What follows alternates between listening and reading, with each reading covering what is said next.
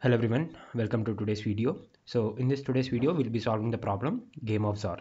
This is a medium level question and it's a problem of the day on Geeks for Geeks today. The company tags of this question are Amazon and the topic tags are mathematical bit magic, data structures and algorithms.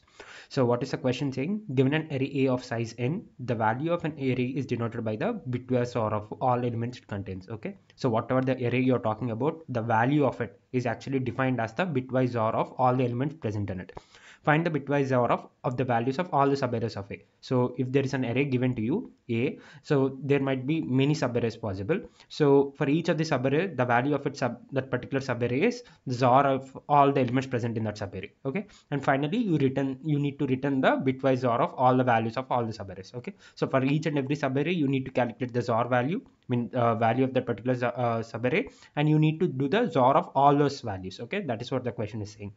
So these are some of the examples given we'll see that in brief and the expected time complexity is o of n and space complexity is O of 1 that is what we'll also you know uh, uh, use it to solve uh, you know a particular problem. And constraints are n goes up to 10 power 5 and a, a of i the element goes up to 10 power 9 okay? So let us go through the example now. So this is the example that has been given n equal to 3 a equal to 1 2 3 so why is the output 2 if we can just carefully understand XOR of 1 equal to 1 what is it what uh, does that mean? XOR of 1 equal to 1 in the sense so what are the subarrays including the first element? There is only one subarray that includes the first element right? That is only one. And what's the XOR of that 1 now come to this particular 2 so if i'm actually looking out at 2 what are the subarrays that include 2 so that can be 1 2 can be 2 3 or just 2 alone. So if it's 1 2 what is the XOR of that? So it is 1 XOR 2 1 XOR 2 that's actually equal to 3 if you can just you can verify it by doing normal bits and you know evaluating each and every bit. And what is uh, 2 XOR 3 so 2 XOR 3 is actually equal to 1 okay? And what is just 2 XOR of 2 just 2 it's just 2 okay? So this and this is done. Now coming to this particular 3 what are the subarrays that can be possible ending at that particular 3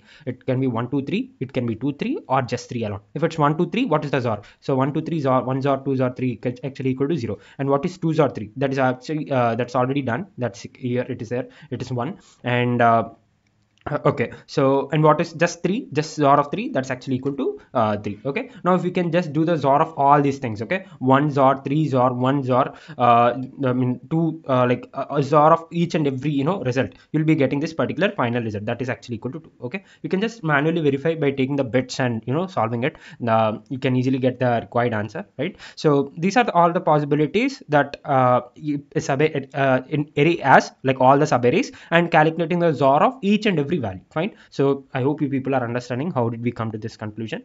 And uh, now let us frame the approach okay? Now let us frame this approach. Uh, i'll just erase these parts. So uh, okay. Um, so yeah.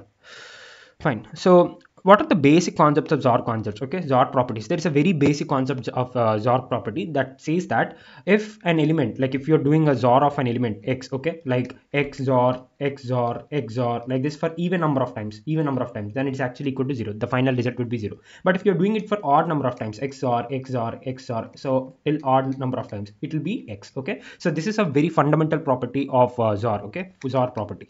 XOR property. So you can just uh, use it, uh, you know, you can just verify it from your side as well, taking few examples. You'll be able to understand why is this so. Okay. So x XOR XOR x for even number of times, it would result in a zero. And if it's an odd number of times that you're doing, it will result in x.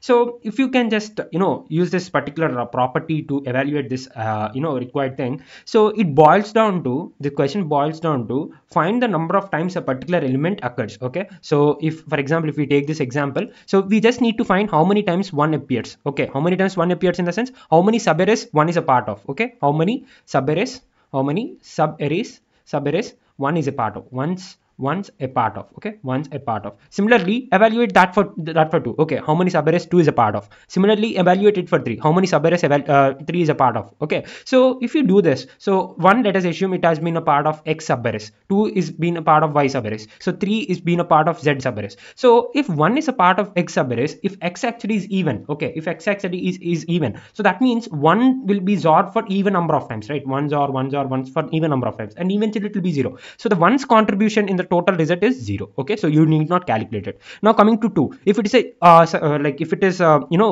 there in y sub arrays and let us assume y is odd this time that means 2 XOR 2 XOR 2 XOR is for y number of times right? Uh, that means it is an odd number because y we are considering to be an odd number so the final result would be 2 so final contribution from 2 is 2 so what did you understand? If a particular number is a part of even number of sub arrays okay if a particular number is a, a part of even number of sub arrays then the overall contribution of it would be 0 but if it's in part of odd number of sub arrays then it can be then the contribution is that element itself okay? So it boils down to this particular thing. Because of this particular base uh, basic property of XOR that even number of times XORing an element would result in 0 odd number of times XORing an element would result in that particular element itself okay? So using the same thing. Now what is the only thing that we are left out? What is the only thing that we are left out? To find how many uh, subarrays that element a uh, element can be a part of. So for that we'll do the basic you know very simple proof. Uh, there is no complex proof for it. Let us assume there is an element like this okay? One two three four five. I've taken this array just for a good example. Fine. So let us take this uh, particular element what three. Okay? What are all the subarrays to the left including it? So that could be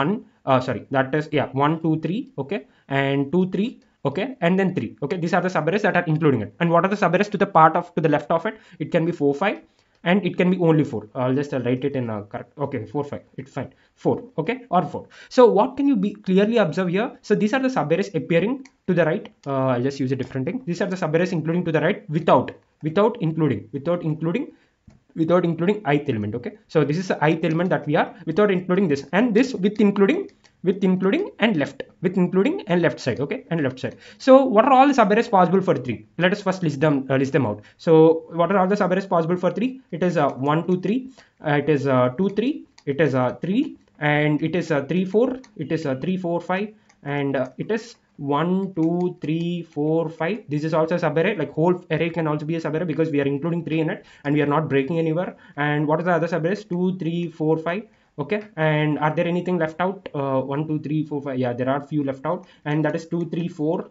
and then uh, 1 2 3 4 right. So we have got to overall nine subarrays possible. Nine subarrays possible that include the particular element that is 3 so how did we come to this conclusion? If we can use this particular things here if we can use this particular thing how can we come to this conclusion? If 1 2 3 if this 1 2 3 is joined with 4 5 so originally 1 2 3 is there. 1 2 3 is counted here fine. And 2 3 is there. 2 3 is also counted here. 3 is there. 3 is also counted here. 4 5 4 5 uh, where is where did we write uh, 4 5 uh, okay. Uh, i just yeah 4 5 is, uh, is just the subarrays that are not excluding uh, excluding that are excluding ith right? So 3 4 can be considered to be including 4 and 3 4 5 we can consider to be part of 3 4 5, uh, 4 5 okay? So now these are done. Now how are we getting these 4 how are we getting these 4 so 1 2 3 when clubbed with 4 5 we get this. 1 2 3 when clubbed with 4 we get this 1 2 2 3 when clubbed with 4 5 we get this. And 2 3 when clubbed with 4 we get this. Similarly if we club 3 with 4 5 we are going to get this. Uh, sorry we are going to get this. And when 3 is clubbed with 4 we are going to get this. Okay? So if you can clearly observe if you can clearly observe till ith element teeth, uh, till ith element what are the subarrays to the left of it including it? These are i plus 1 so what is i here? That is 2 now to the left of uh, uh, ith element how many subarrays that are including it? 2 plus 1 that's actually equal to 3 okay? 2 plus 1 that are actually equal to 3 and now we are including the sub, uh, subarrays that are to the right side of 3 we are trying to be merge them. Okay we are trying to merge all the subarrays that are uh, that uh, that are possible to the right side of 3 so that is how many? So if we clearly observe it is 2 here 2 why it is 2 because it's basically n minus i plus 1 okay? So what is n? N is equal to 5 here right? N equal to 5 here. So 5 minus 2 plus 1 2 is the i value right? So actually equal to 2 5 minus 3 equal to 0 so you're basically trying to add i plus 1 you, you are trying to initially you have i plus 1 subarrays. Initially you have i plus 1 subarrays. All these things are uh, uh, subarrays. This can all be a valid subarrays because all these three all these subarrays have 3 as the last element or including element.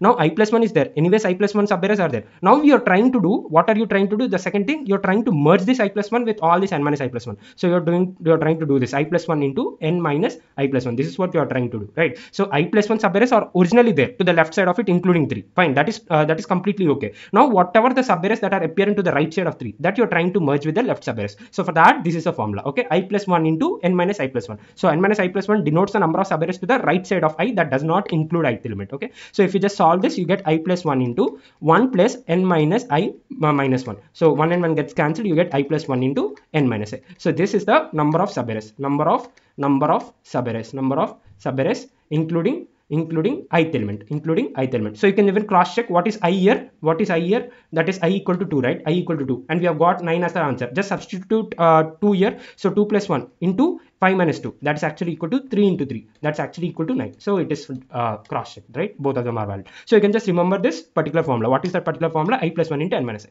So what is this saying? This is saying the number of times number of uh, subarrays including ith element so if this overall value comes out to be an odd for index i okay? If it is odd then it means the contribution from that uh, element of that particular is array of i right? Contribution would be array of i. If it is even if it is even the contribution is zero right? If it's even the contribution is zero. I, I hope you are understanding. So i plus 1 into n minus y denotes the number of times the number of subarrays uh, that include ith element. Now if that turns out to be an odd number that means odd number of times that ith element will be there. So array of i can be the contribution final contribution. But if it's even like even number of times it's appearing even number of uh, subarrays are being formed so the overall contribution would be zero okay? So how do you come to a conclusion whether this is an even or odd? Uh, so what is the overall component that we have? I plus 1 into i plus 1 into n minus i this need to be an odd number if you are looking out for a contribution. And if you are looking out for this to be an odd number two numbers multiplying will be an odd number only if both of them are odd only if both of them are odd okay? Only if both of them are odd. So let us first evaluate this i plus 1 so if i plus 1 is odd i plus 1 is odd then what is i? I would be even isn't it? Very basic concept. If 5 is odd then 4 is even because 5 is equal to 4 plus 1 so if i plus 1 equal to odd i should be even. So what does it mean? If it's an even index then you can take it. Then you can take it. If it's an odd index please leave it because if it's an odd odd plus 1 will be even. So it will finally turn out to be an even number of contribution. So you need you shouldn't take that because it's not going to contribute anything. So you'll only be looking out for those indices that are even indices so that you'll be having an odd number of contribution. But still there's some other component to be evaluated n minus i. So n minus i must also be odd. N minus i should also be odd. Now what did we come to a conclusion? I is an even number. I is an even number. So n minus even must be an odd okay? N minus even must be an odd. How can n minus even be an odd if n is actually equal to an odd number okay? So odd minus even. So 5 minus 3 actually equal to uh, okay uh, sorry 5 minus 2 so 5 minus 2 equal to 3 right? So 5 is an odd number 2 is an even number 3 is an odd number. So if your n is an odd number if your n is an odd number then only you can get a valid contribution. If n is an even number let us assume it is an even. So even minus even. So 4 minus 2 let us take an example what is the uh, end result? That would be even 2 right? So n minus even is actually even if if n is actually even. So we we shouldn't want n to be even. We want n to be odd right? So what is the first final conclusion that you can derive? If your n is n is the size of the uh, array is actually equal to an even number actually equal to an even number then the overall contribution would be zero. The overall contribution is zero. You need not evaluate further. But if it's an odd number if n is an odd number then go on to all the indexes that are even okay? Go on to all the indices that I mean, go on to the all the even indices right? So that's the only logic here. Fine. This is the two conclusion. First if what are the conclusions? If n is actually equal to odd sorry n equal to even even the final answer is final answer is final answer equal to 0 if n equal to odd if n equal to odd that means go to even indexes okay? Even index indices and take their contribution okay? And finally return that answer. I hope you people have understood. Very basic logic just the using basic properties of uh, you know XOR and evaluating this formula. This is the main you know important point. This is the main important point to be honest. So if you can understand the number of times a particular ith element can be a part of a uh, number of subarrays so you can directly evaluate it. Just boils down to number of times that element is occurring okay? So we'll just count that itself. So first thing what did we say? If n turns out to be an even number if n by n modulo actually equal to 0 then return 0 so we need we, we need not consider the you know arrays of uh, size even because that eventually will return 0 so now coming to take int uh, final XOR take that to be some 0 final uh, XOR. You can take any variable. So for int i equal to 0 i less than n i plus plus. If that even index if that is an even index then consider it okay? If i am 0 you consider you consider the contribution from it would be uh, that particular element. So that is uh, a of i okay? And finally return that final XOR final XOR. That's it. Final XOR. I hope you people understand let us uh, just compile and run and check for your reference. What happens um, okay that's fine. Uh, now i'll just submit it. It works. I've already checked uh, just for your reference i'm doing it once again. Um, okay fine. So i hope you people have understood. So if there are any doubts please feel free to comment in the comment section. And for your reference codes in java python c++ are there in the description. Please go through them. To be honest it's a very good problem and i'm very good at bit manipulation. Personally i solve a lot of problems so that is the reason i thought i should put my own you know self intuitions into it. Uh, the only thing that uh, you might find very uh, you know somewhat tricky is finding the number of subarrays but if you just manually write them and check manually you know uh, solve them you'll be able to understand the complete proof of it. There's no doubt in it okay? So i hope you people have understood. So thank you for watching guys. Stay tuned